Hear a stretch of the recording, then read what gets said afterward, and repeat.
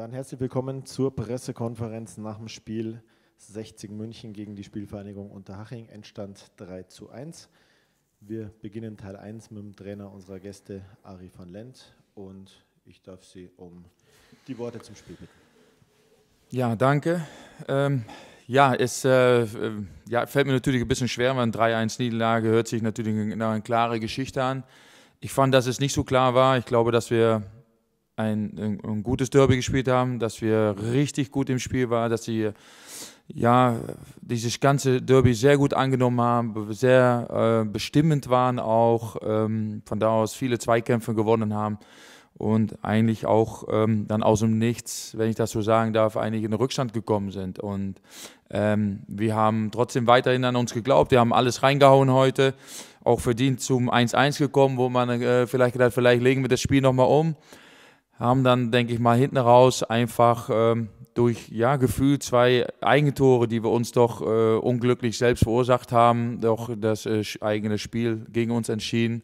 Und wie gesagt, haben es dann nicht mehr geschafft, irgendwo nachzulegen. Also ich, ähm, natürlich ähm, ist das von einem Ergebnis schwer zu erzählen, aber ich gebe dir manchmal ein Kompliment. Ich hoffe, äh, sie bleibt dran. Sie bleibt auch jetzt nach diesem äh, denke mal, ein ordentliches Derby, was wir haben, dass wir versuchen, das über die nächste Woche äh, so die Situation anzunehmen, damit wir wieder das Spielglück wieder auf unsere Seite zu bekommen, äh, damit wir auch wieder dann endlich mal wieder punkten. Im Moment ist das natürlich sicherlich alle sind enttäuscht, aber wie gesagt, wir werden bis zum Ende daran glauben, ähm, weil da haben wir auch einen Grund dafür und äh, dafür werden wir natürlich auch alles tun.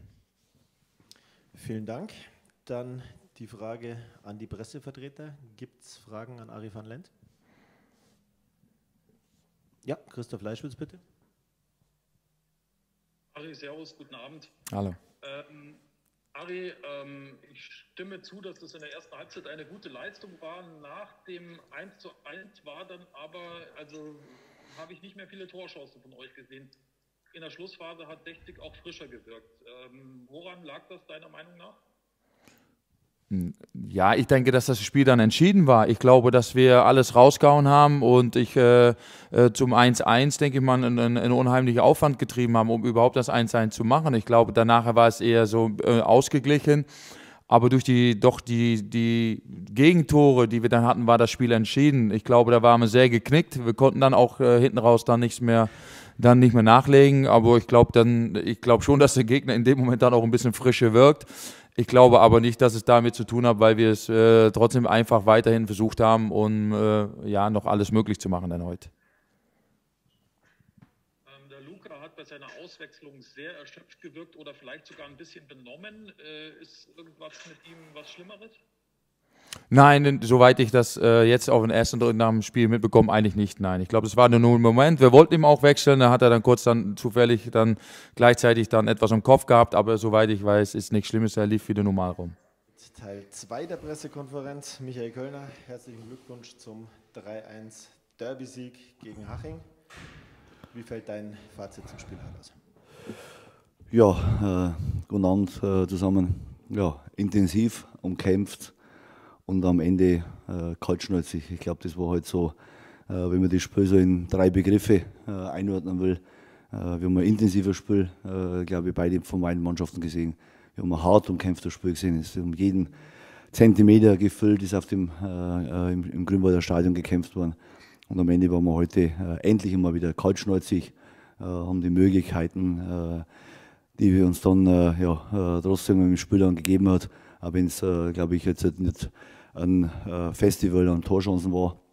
So, und die haben wir eiskalt genutzt und äh, ja, von dem her bin ich sehr, sehr zufrieden. Äh, und wie gesagt, äh, für Haching natürlich äh, äh, ein schwieriges Ergebnis, aber für uns natürlich ein umso wichtigeres Ergebnis. Ich glaube, dass wir heute von Beginn an sehr, sehr griffig waren, haben sicherlich auch nur den Ausfall von Daniel Wein zu verkraften gehabt, der sich in der Endphase vom Aufwärmen nur verletzt gehabt hat. Und es war natürlich schwierig, dass wir dann noch umstellen mussten, äh, mussten dann äh, mit Dennis Sessel äh, auf der sechster Position spielen. Der hat dann im Laufe des Spiels sich dann richtig gut äh, auf der Position dann äh, eingespielt und eine äh, gute Leistung auf der Position geboten.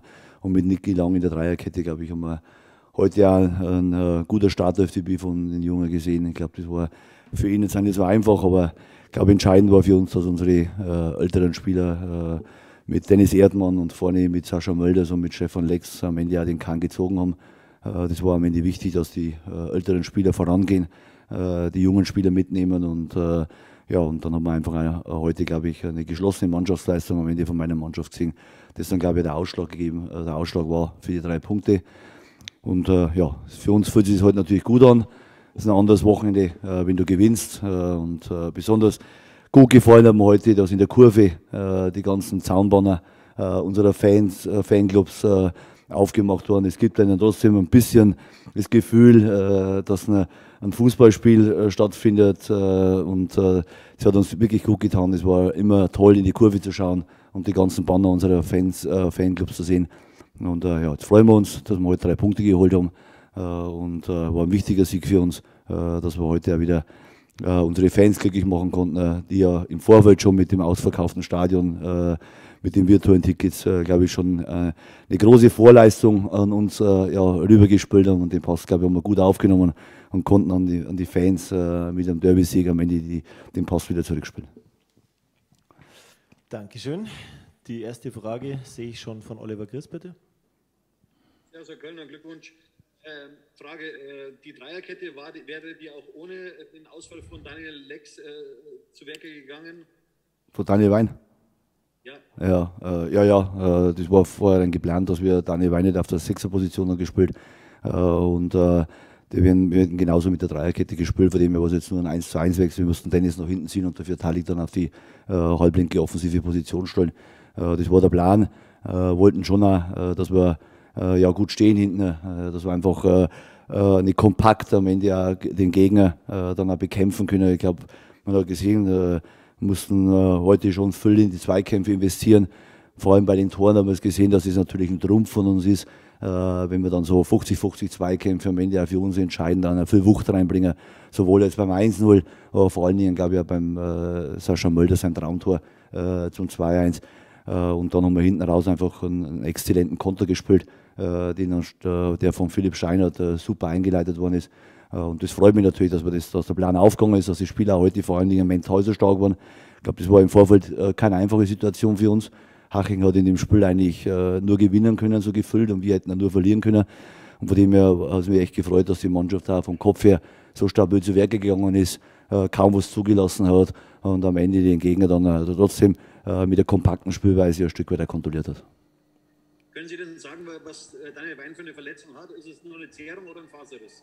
keine Ahnung, also es hat kurz reingestochen, so gefüllt, also er hat auch nicht genau gewusst, er hat sowas noch nie gehabt, er hat nie eine Muskelverletzung oder sonstiges gehabt, von dem her können wir jetzt eine schlechte Aussage machen. Äh, wichtig war trotzdem, dass wir äh, das als Mannschaft auch gut kompensiert haben. Ich glaube, das ist nicht so einfach. Äh, Vornspiel äh, fallen da mit Zeuger und mit Wölsch zwei Eckpfeile in unserer Mannschaft aus. Äh, Quiri Moll auf der Position wir ja äh, vor einigen Wochen äh, schon äh, als Ausfall äh, letztendlich hinnehmen müssen. Und dann war die Mannschaft aber äh, stark genug, äh, als, als Team zu funktionieren. Und das, glaube ich, ist unser Schlüssel, äh, dass wir, wenn wir als Mannschaft richtig gut auf den Platz kommen, dann sind wir auch schon schwer zu bespielen und vielleicht auch schwer zu besiegen.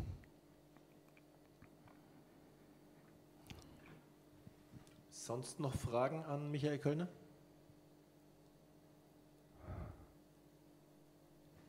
Keine mehr, dann wünsche ich allen ein schönes Wochenende und bis bald. Dankeschön. Gut. Schönes Wochenende und äh, bis nächste Woche. Servus.